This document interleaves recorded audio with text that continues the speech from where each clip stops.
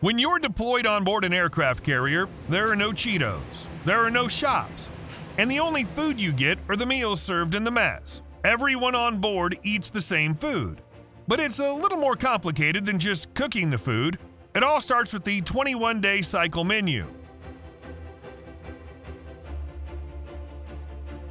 Once created, the meals repeat every 21 days. The menu is created by a professional chef working for the U.S. Navy. Once created, this determines the shipping and delivery of food supplies on board. Every menu of an aircraft carrier is loaded into the FSM, and the purchasing of products for delivery is dictated by this menu.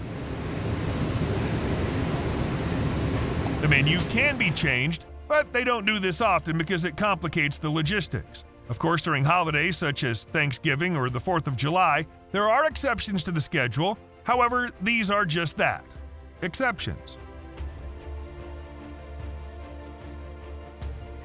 Then they go on the website of the Food Service Management System, or FSM for short, and they order their food. The food comes from a variety of sources, and officers can choose any suppliers that are on the website.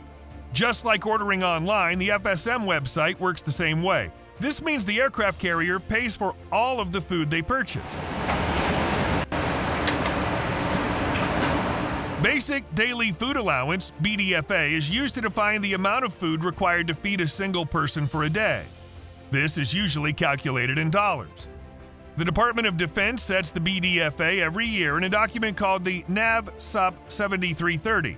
They then count the number of sailors on board the aircraft carrier and multiply that by the BDFA dollar amount. This determines how much food each soldier receives. For example, let's say there are 5,000 sailors on board the USS Nimitz, and the BDFA is set at $15, a rough estimate for the month of September 2022.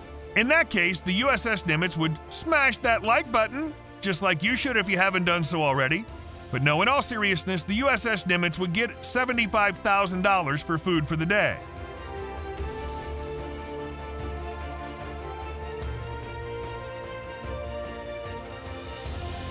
But what about overspending problems? In the military, if the officers spend more money on food than is allocated to them by BDFA, they have an over issue. Doing this for extended periods will blow out their budget. Similarly, when they spend less than they're allocated each day, they have a problem. The problem is called under issue.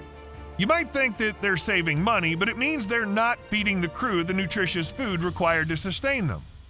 The goal? The idea scenario would be to have no food money left over at the end of the year.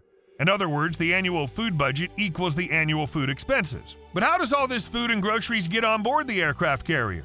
Obviously, they can't dock the carrier every 21 days, right? Of course not. That'd limit the aircraft carrier's range. At any time, they would have to be only 11 days away from land in their voyage.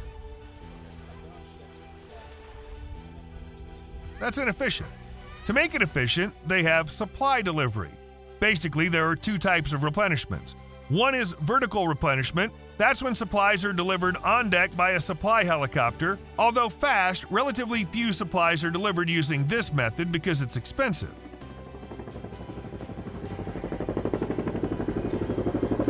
Underway replenishment is when a supply vessel, another ship, sails right next to the aircraft carrier and delivers supplies on deck via cables and pulleys.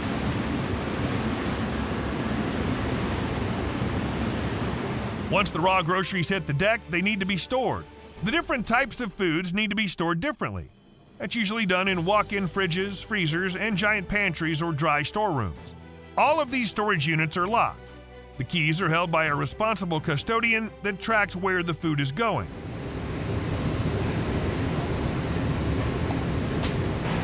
As you might have already supposed, the ocean waves make things move on board a carrier.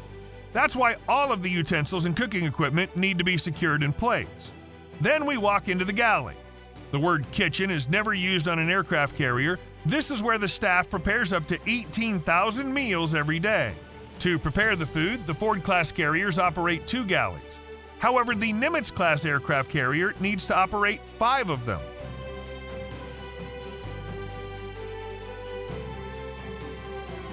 Breakfast, lunch, and dinner are all served at particular times during the day. The crew eats in different areas depending on their rank.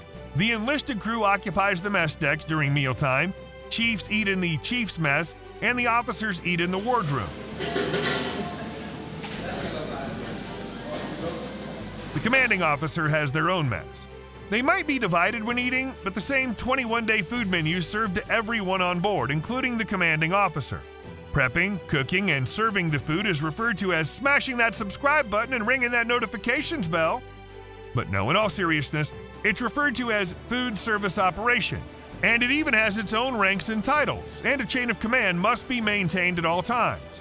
The FSO, or Food Service Officer, is the person in charge of the food service inventory.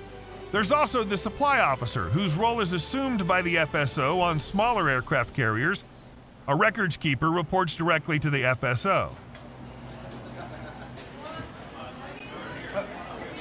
All the food needs to be accounted for properly.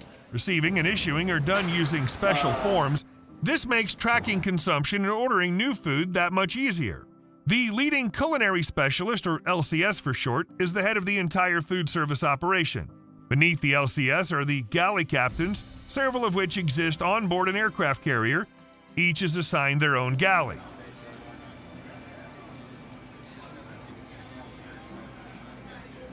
The watch captain is the next in line of command in the galley. They also do the cooking on board. When it comes to serving food, random sailors are assigned to the food service operation. The food service attendants help run the galley and mess operations smoothly. The mess deck master at arms is a person whose sole responsibility is to ensure the safety of the mess decks. With the chain of command in place, cooking the food should be simple. But it isn't. Cooking three meals a day, every day for 5,000 people takes careful planning and preparation. Not only should the food look and taste good, but it should also be nutritious.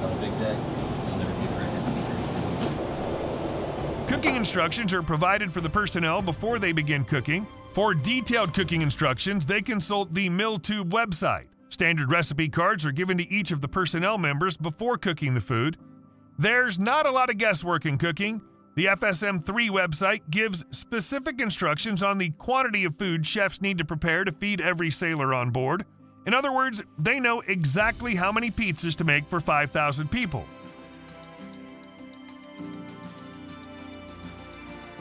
The popularity of each meal is taken into account too. More popular meals are served more frequently in the hopes of boosting morale. Because food contributes to the morale on board the aircraft carrier, nurturing food is a key factor on board an aircraft carrier. Bye for now.